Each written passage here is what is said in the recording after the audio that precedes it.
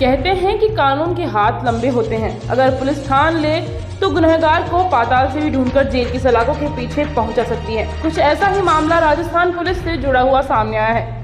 1.25 लाख रुपए के इनामी हिस्ट्री शीटर राकेश यादव को राजस्थान पुलिस 2000 किलोमीटर दूर से पकड़ कर लाई है। हालाँकि, वह आरोपी अब जयपुर के अस्पताल में ज़िंदगी और मौत के बीच झूल रहा है।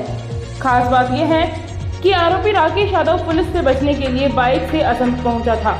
और वहाँ पर राजस्थान में अपनी गैंग चलाने लगा था। पुलिस कमिश्नर बीजू जॉर्ज जोसेफ ने बताया कि गिरफ़्तार आरोपी राकेश यादव श्री माधोपुर नीम का थाना रहने वाला था। आरोपी ने ज्वेलर्स नवीन सोनी द्वारा रंगदारी के करोड़ों रुपए ही नहीं देने पर 30 जुलाई 2023 को अपने गुर्गे से उसके फ्लैट पर पैर में गोली मारकर जानलेवा हमला करवाया था। आरोपी के खिलाफ हत्या हत्या का प्रयास, रंगदारी और फायरिंग जैसे संगीन आरोपी के करीब तेईस प्रकरण दर्ज हैं। आरोपी असम और कोलकाता में तीन साल से फरारी काट रहा था। असम से चला रहा था अपनी गैंग।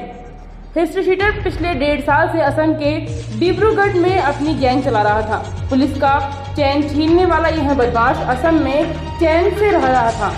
वह इंटरनेट कॉलिंग के ज़रिए व्यापारियों को धमकाकर रुपए वसूलता था। जयपुर पुलिस की टीम पिछले एक महीने से बदमाश राकेश यादव को ट्रेस कर रही थी। पुलिस टीम को पता चला कि आरोपी डिब्रूगढ़ असम में फरारी काट रहा है। इस पर पुलिस टीम को मंगलडोई डिब्रूगढ़ असम भेजा गया। टीम ने दो किलोमीटर का पीछा कर उसे दबोच लिया। रंगदारी से मचा रखा था आतंक। Additional police commissioner Kailash Bishnoi ने बताया कि आरोपी राकेश ने राजस्थान में रंगदारी का आतंक फैला रखा था। रोज़ाना नेट कॉलिंग स्पूकिंग कॉलिंग अलग अलग online platform WhatsApp, Instagram, Snapchat का उपयोग कर आमजन को करोड़ों रुपए की रंगदारी देने के लिए कहता था। ऐसा नहीं करने पर अपने गैंग के गुर्गों से मौत के घाट उतरवाने की धमकी देता था। पैसे नहीं देने वाले लोगों पर आरोपी जानलेवा हमला करवा रहा था।